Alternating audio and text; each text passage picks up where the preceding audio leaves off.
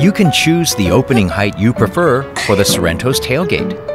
To set the power tailgate opening height, go to the door menu on the AVN screen and choose Power Tailgate Opening Height. From level 1, the lowest setting, to full open, the highest. You can choose between several opening heights.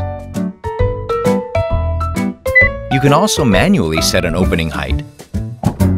Move the tailgate to your preferred opening height and hold the close button for at least 3 seconds to set the opening height that's right for you. If you want to change the opening speed, go to the Power Tailgate Speed menu and choose the speed you prefer.